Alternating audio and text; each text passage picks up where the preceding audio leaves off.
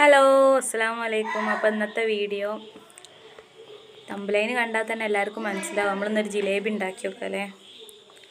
വെറും മൂന്ന് ചേരുവകൾ കൊണ്ട് മാത്രം.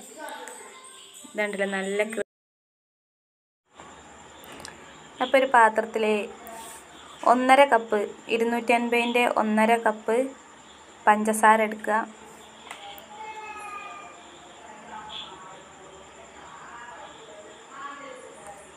അതിൽ ഒരു മുക്കാൽ ഗ്ലാസ് വെള്ളവും പാരും.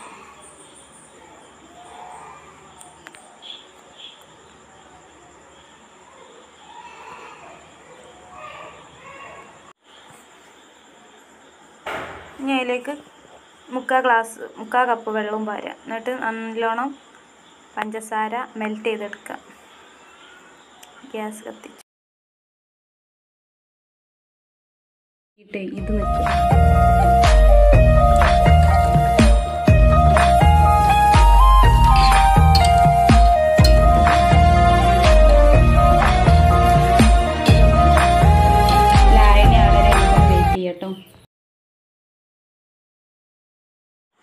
പിന്നെ ഇതിലേക്ക് ഒരു ഫ്ലേവറിന് വേണ്ടിയിട്ട് ഒരു ഏലക്കായ ഇട്ട് കൊടുക്കട്ടോ.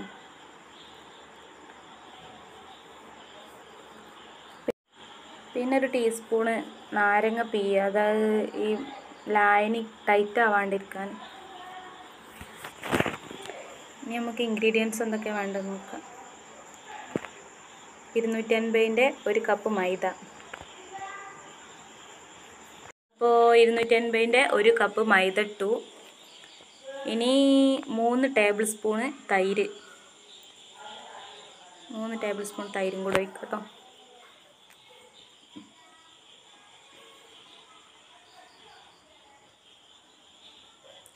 കറക്റ്റ് നല്ലോണം അങ്ങോട്ട് വടിച്ചെടുക്കണം കേട്ടോ സ്പൂണ് കറക്റ്റാക്കിയിട്ട് മൂന്ന് ടേബിൾ സ്പൂൺ ഈ ചേരുവ കറക്റ്റ് നിങ്ങളിട്ട് ഉണ്ടാക്കുകയാണെങ്കിൽ നല്ല അടിപൊളി ക്രിസ്പി ജിലേബി ഉണ്ടാക്കാൻ കഴിയും കേട്ടോ പിന്നെ ഒരു ടീസ്പൂൺ ഓയിൽ ഒഴിച്ചു. പിന്നെ മുക്കാൽ ടീസ്പൂണ് ബേക്കിംഗ് പൗഡറാണ്. അപ്പോൾ ഇത് അര ടീസ്പൂണിന്റെ അതാണ് അത് അതിൽക്കിട്ട് ഇനി ഒരു കാൽ ടീസ്പൂണും കൂടെ ഇടാം. കാൽ ടീസ്പൂണും കൂടെ ബേക്കിംഗ് പൗഡർ ഇട്ട് കൊടുക്കുക. പിന്നെ കളർ ഒഴിച്ചു കൊടുത്ത്. എന്റെ കയ്യിൽ റെഡ് കളറാണ് ഉള്ളത്. പിന്നെ യെല്ലോ കളർ ഉണ്ടെങ്കിലും ഓറഞ്ച് കളർ ഉണ്ടെങ്കിലും ഒഴിച്ചു കൊടുക്കാം കേട്ടോ. എന്നിട്ട്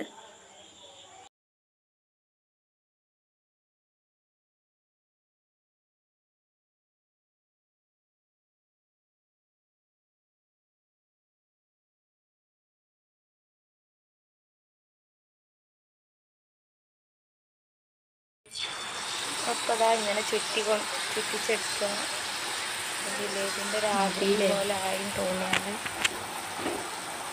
മറിച്ചെടുത്ത് തിരിച്ചിട്ടിട്ട് വേവിച്ചെടുക്കാം. നെരിയേണ്ട അവിടെ മറിച്ചിടണം. ഇപ്പം റെഡി ആയിട്ട് കുറച്ചായാലും മതി. നമ്മൾ ഒന്നല്ല ഉണ്ടാക്കണുള്ളൂ എന്നൊക്കെ പറഞ്ഞു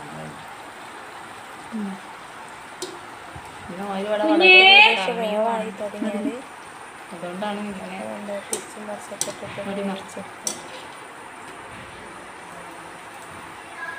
കുറച്ച് തോന്നില്ല സാരിപ്പൊടി കൂടി ഇട്ടാൽ ഒന്നുകൂടി ക്രിസ്പി ആവോ? എടുക്ക്.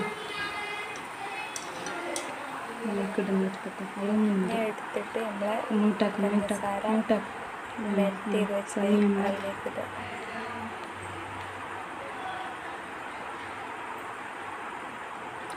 അത് കുറച്ച് നല്ല നോക്കി മുക്കി പ്ലേറ്റ്. മാറ്റി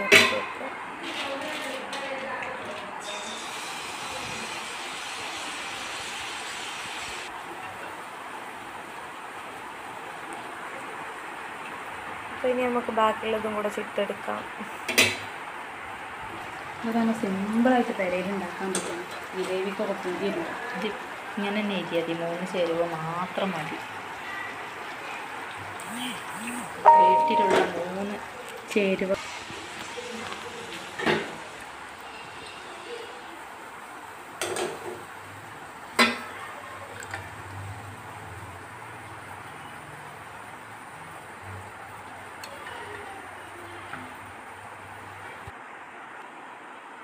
അപ്പോൾ എല്ലാവരും ട്രൈ ചെയ്ത് നോക്കുക ഫീഡ്ബാക്ക് അറിയിക്കുക സബ്സ്ക്രൈബ് ചെയ്യുക ഷെയർ ചെയ്യുക. and uh, thank you for watching.